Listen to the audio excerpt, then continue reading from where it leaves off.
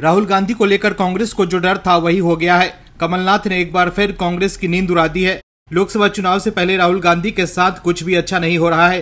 राहुल गांधी यात्रा निकाल कर खूब ज़ोर लगा रहे हैं कि कैसे भी उनकी सफल लॉन्चिंग हो जाए।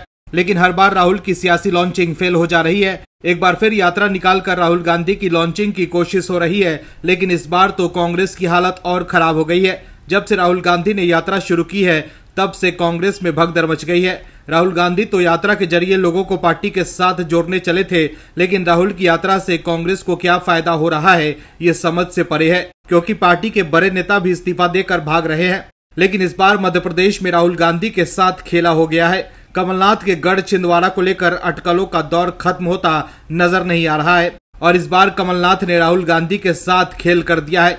क्या है खबर बताते हैं आपको इस रिपोर्ट में।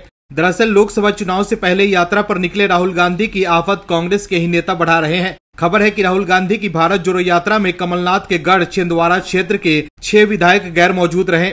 इतना ही नहीं, खबर है कि राज्य में एकमात्र सांसद नकुलनाथ भी यात्रा में सिर्फ़ एक दिन ही शामिल हुए।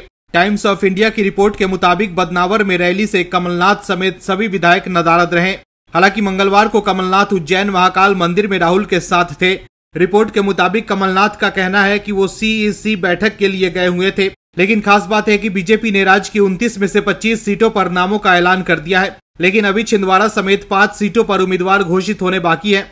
ऐसे में सवाल है कि क्या बीजेपी के साथ कमलनाथ कोई खिचड़ी तो नहीं पका रहे हैं? कमलनाथ और उनके बेटे नकुलनाथ का राहुल की यात्रा से दूरी बनाना और बीजेपी द्वारा अब तक छिंदवाड़ा से उम्मीदवार घोषित न करना बहुत कुछ बता रहा है।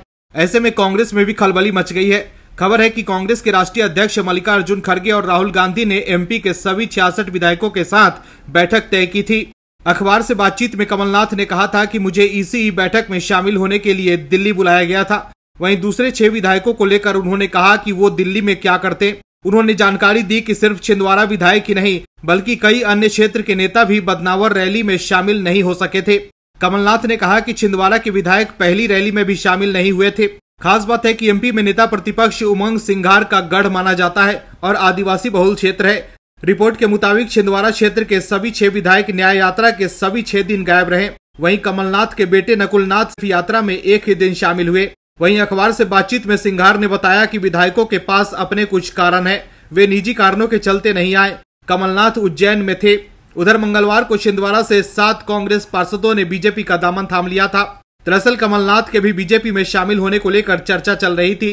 कुछ दिन पहले कमलनाथ दिल्ली भी गए थे, लेकिन बीजेपी से बातचीत नहीं बन पाई। कहा जा रहा है कि बीजेपी कमलनाथ के बेटे नकुलनाथ को पार्टी में लेने के लिए तो तैयार है, लेकिन कमलनाथ की छवि को लेकर बीजेपी असमंजस में है। ऐसे में छिंदवाड़ा क्षेत्र के सभी छह विधायकों के राहुल की यात्रा से गायब रहना बहुत कुछ बयां कर रहा है। ब्यूरो रिपोर्ट ओएमएच न्यूज़ और भी वीडियोस देखने के लिए चैनल को सब्सक्राइब करें और बेल आइकन को दबाएँ।